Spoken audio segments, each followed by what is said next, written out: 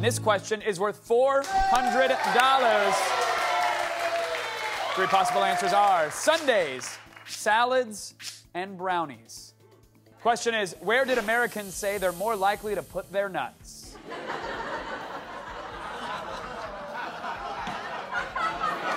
Eric, we're going to go ahead and start with you, sir. What do you think? I went with the tasty treat sundae. Drizzle it on the chocolate. You got yourself a dessert. Eric says sundaes. Laurel.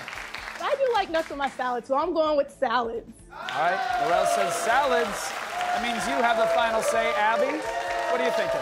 Well, I like my salads with nuts, and I like my brownies with nuts. But every time I get a sundae at a fast food drive-through, they ask me if I want nuts. So I'm assuming that's the popular vote. They always offer it. So I said sundae. Interesting logic. Abby says sundaes for $400. The correct answer with 42% of the vote is sundaes.